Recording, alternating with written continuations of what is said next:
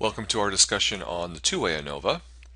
Uh, we saw previously how to run a one-way analysis of variance where we had data that was basically categorized in only one way. Now we're going to look at a way to test when we have data categorized two ways. We're still testing whether or not there's a difference, uh, only now we have uh, two categories instead of one. A simple example would be the data in a table that are being categorized by gender and by the uh, level of lead in their blood.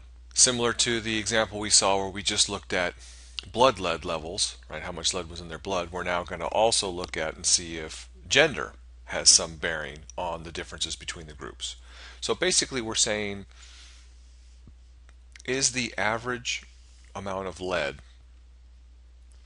different between this group, this group, this group, this one, this one, and this one, right? We have six groups that we're testing now instead of three.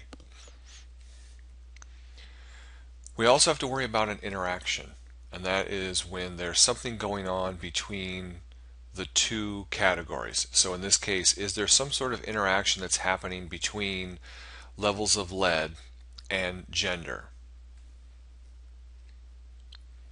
And in order to test that, you just do a simple interaction plot.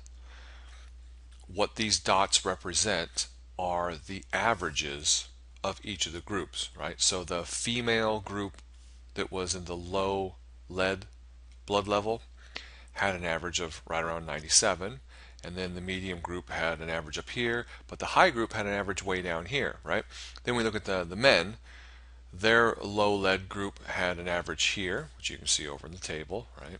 And then it dropped to 91 and then up to 95. When you're testing for an interaction, what you're looking for is the two graphs, in this case male and female, should be roughly parallel. And if they're roughly parallel, then there is no interaction. If they deviate um, drastically enough from parallel, in your opinion, then there is an interaction. Now I would look at this and say these are not parallel. This this last leg really messes with things and I would think that there's an interaction between the two.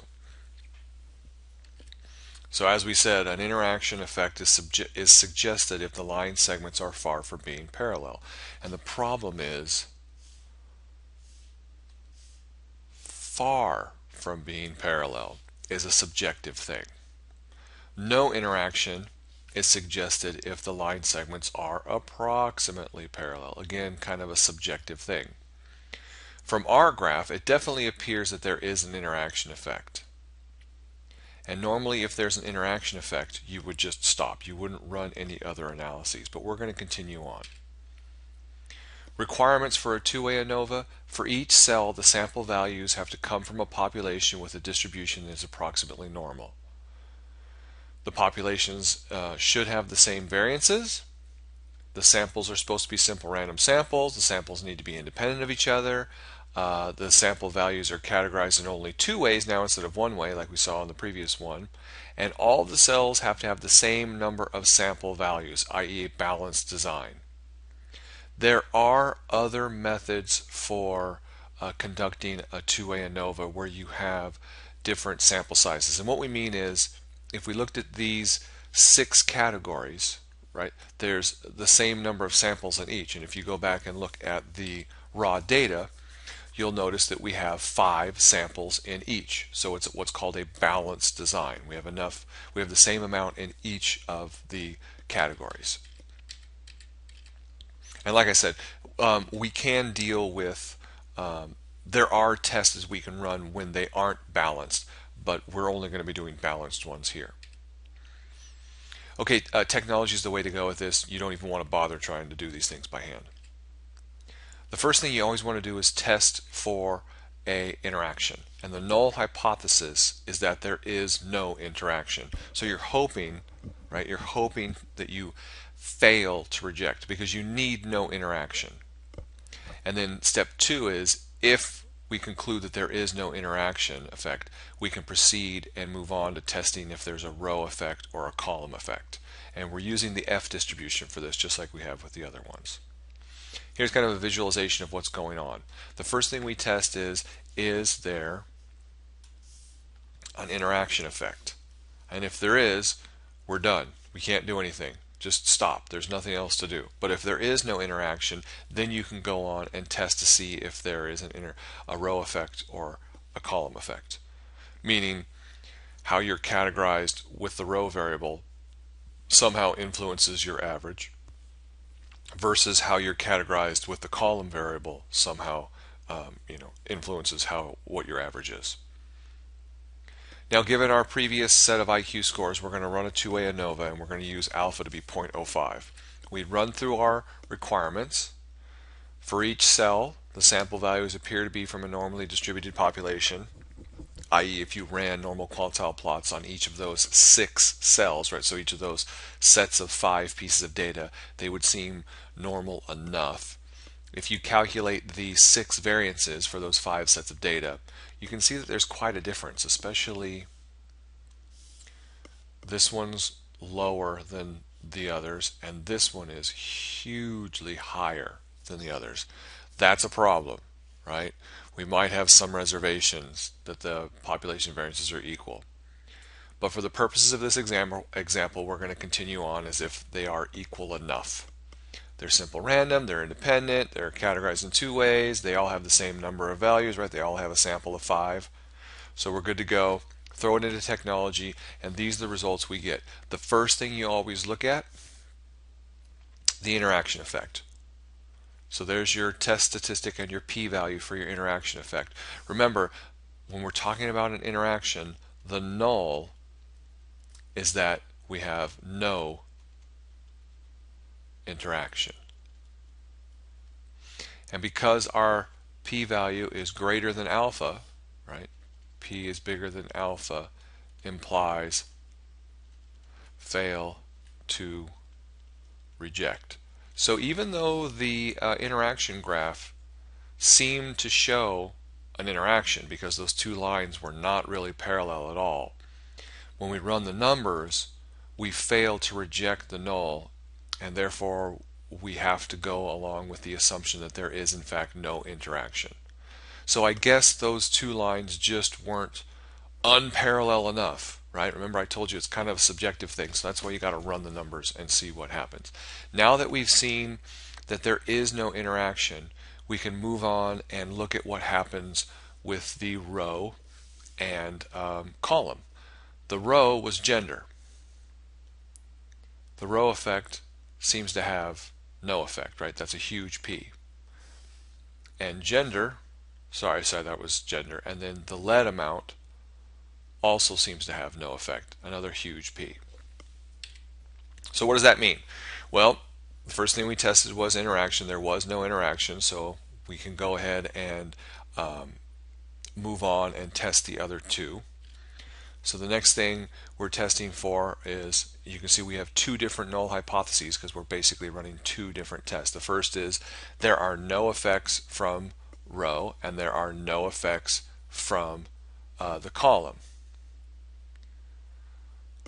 with the p-value of 0.79 we failed to reject that null hypothesis so the evidence kind of implies that there are no effects right there is not enough evidence to warrant rejection of the null so there's not enough evidence to think that there is an effect from gender and similarly when we tested the columns we got a p-value of 0.9 so there was also not enough evidence to support the alternative, right, that there is an effect from blood level. So it looks like neither gender nor level of uh, lead in your blood has an effect on your IQ. And that's what this is saying, right? The final interpretation is based on our sample data, we conclude that IQ scores do not appear to be affected by either gender or the level of lead in your blood.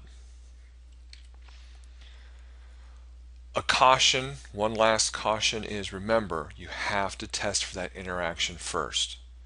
Because if there is an interaction you cannot see if one or the other is actually doing the cause right? If there's some sort of interaction the row and the column factors are somehow working together then you can't tell if it's just the row that's having an effect or just the column that's having an effect. So the first thing you always have to test is for that interaction. And you should always test both by running the numbers and by looking at the graph. Because by looking at that graph you probably would have thought, well, there is an interaction, and so even though it didn't come back with an interaction from the numbers, you then get non-significant results, and it, it's all going together, right? You, there seemed to be an interaction, even though we didn't get one statistically, and then we don't get an effect from either gender or lead levels, but we had that really bad uh, variances in two of our cells. So just all over this test is crap, right? We, just it's just bad. I mean, it's a learning, it's an example tool here, but in the real world, we wouldn't even want to report anything. It's just bad, bad, bad. Let's look at another example on how we can do this in technology. Here I've added some data into StatCrunch, uh, and this is what you have to do. You have to have all of your um, data values that are being compared in one column, and then you have to have your uh, row and column designation, similar to what we did with the one-way ANOVA where we just had the one factor and one. Now we have to have two, right? Because our data is now being categorized two ways, gender and age, right? So these are males under 30, and then these down here are males over 30, and then as we uh, pan down, we can see we have females under 30 and females over 30, and of course you have to have the same amount in each of those categories because if you don't it won't run the stats for you. Stat, ANOVA, we're now doing a two-way ANOVA. Responses, those are the things that are being um, compared and we're comparing pulses. The row factor, that's going to be gender, really doesn't matter which way you go. Column factor, I'll let that be age. I want to plot, plot the interactions. I want to display the means. I also want to compute my uh, Tukey pairwise test. Hit compute. The first thing it gives you is all the displays. Here's my ANOVA table. The first thing we have to check is interaction. Is there an interaction, right? The null hypothesis is no interaction. There is no interaction.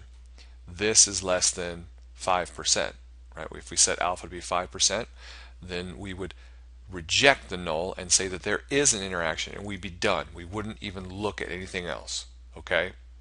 So in the real world we'd be done. We wouldn't wouldn't even consider looking at the interactions between the other things.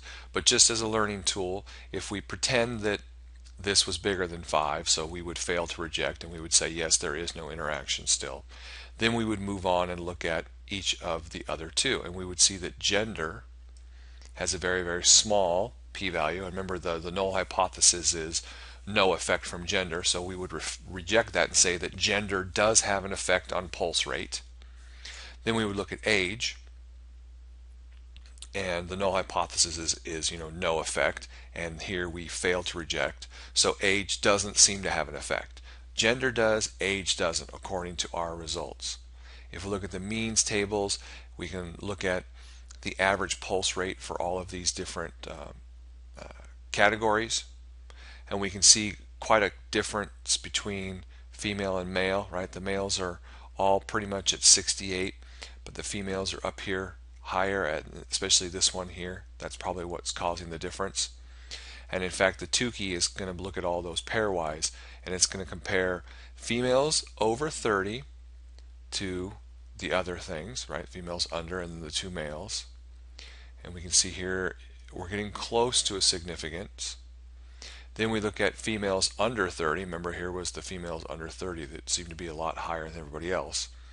And we compare those to both males over 30 and males under 30. We get those significant results for both of them. And that's why we saw um, that gender had a difference. And then when we check males over 30 versus male under 30, no difference. Okay, so that goes back and tells us that when we see this uh, gender difference, it's really coming from the females under 30 that are being different from the males. The females over 30 are not different, right, from the males. That's how we would interpret that. If we were able to, remember we couldn't because the there was an interaction effect. And if we page through here, we can see the graph. And oh, that's kind of parallel. Maybe that would be okay. Remember, we were just barely under 5%. And in this one, that one looks a lot worse, and that's probably where the interaction was coming from. Okay, that's a two-way ANOVA, guys. Not too complicated, not too hard. Just throw it into technology and get your answers.